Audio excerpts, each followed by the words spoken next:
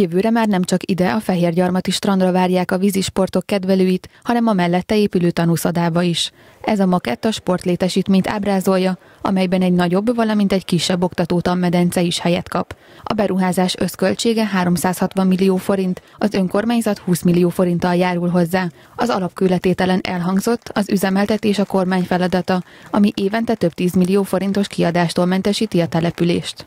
Az eredeti terv az egy nettó 150 millió forintos bekerülési költségű tanúszodáról szólt, amely mind összegében, mind pedig műszaki tartalmában sokkal kevesebbet tudott, mint a jelenlegi létesítmény.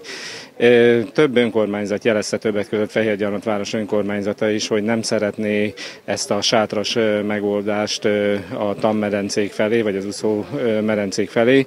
Ezért a kormány, én úgy tudom, hogy személy szerint miniszterelnök úr is azt mondta, hogy ezen változtatni kell, és elvetették ezeket a terveket. A megyében összesen négy tanúszoda épül, az első beruházás a Fehér Gyarmati sportlétesítmény kialakítása, közölte Tilki Attila országgyűlési képviselő. A program összesen csak nem 40 ezer lakost érint. Az elsődleges feladat, ami minden politikus számára legyen az képviselő vagy polgármester, fontos, hogy a utánunk következő nemzedék milyen lesz, milyen egészségügyi állapotban lesznek a fiatalok. Ugye épp testben, épp lélek ezt a mondást mindannyian ismerjük, tehát én nagyon fontosnak tartom azt, hogy egészséges fiatalok legyenek, és ehhez persze feltétel az, hogy itt a folyók mentén tudjanak úszni, hiszen az úszás önmagában akár az úszásra is jó, mint versenysportra, de lehetőséget ad, hogy bármilyen vízzel összefüggő sportot tudjanak folytatni a fiatalok. A Nemzeti Köznevelési Infrastruktúra Fejlesztési Program első ütemére 38 milliárd forintot fordít a magyar kormány, így országszerte 24 tanterem,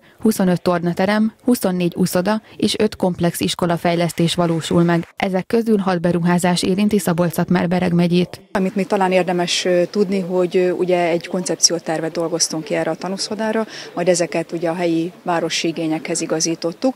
Ebben a tanúszodában is ugyanúgy, mint az összes többi településünkön, lesz egy úszómedence és egy tanmedence kiszolgáló helyiségekkel és öltözőkkel. A Fehérgyarmati tanúszoda várhatóan jövő év elejére készül el, így a 2016-2017-es tanévben az iskolások már tanórákon is használhatják a korszerű létesítményt.